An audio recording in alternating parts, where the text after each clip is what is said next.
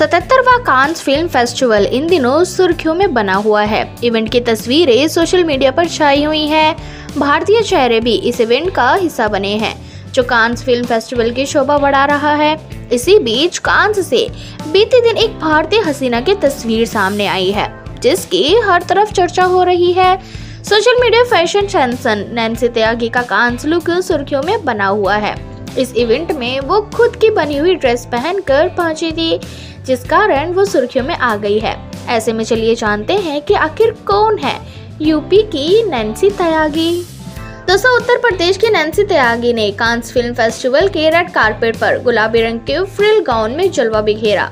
इस इवेंट में जहाँ लोग बड़े डिज़ाइनर की लाखों करोड़ों की ड्रेस पहनकर जलवा बिखेर रहे हैं, वहीं नैन्सी ने खुद का डिज़ाइन किया हुआ आउटफिट पहना, जो 20 किलो का है। उन्होंने इंस्टाग्राम पर अपने कांस लुक की तस्वीरें शेयर कर। खुद इस बात का खुलासा किया है। नैन्सी तयागी, यूपी के छोटे से गाँव, बरनवा की रहने वाली है। उनका कांस फ़िल्म फेस्टिवल तक पहुँचना किसी बड़ी कामयाबी से कम नहीं है। बारहवीं की पढ़ाई करने के बाद वो दिल्ली में शिफ्ट हो गई थी। कोविड के दौरान उनकी आर्थिक स्थिति काफ़ी खराब हो गई थी, जिसके बाद उन्होंने घर का खर्च चलाने के लिए सिलाई का काम शुरू किया। वो सोशल मीडिया पर अपने बनाए गए कपड़ों की वीडियो शेयर करती हैं। उनके वीडियोस को दर्शकों द्वारा खूब पसंद किया जाता है। इसके बाद उनकी बनाई गई वीडियो सोशल मीडिया पर ट्रेंड करने लगी।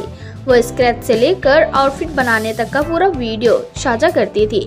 उन्होंने कांस फ़िल्म फेस्टिवल में अपने डेब्यू के बाद एक बातचीत में कहा था, इतना बड़ा उनका सपना नहीं था, जहाँ वो आज खड़ी है। उन्होंने महज एक महीने में एक हज़ार मीटर कपड़े का इस्तेमाल करके अपने लिए गाउन बनाया है।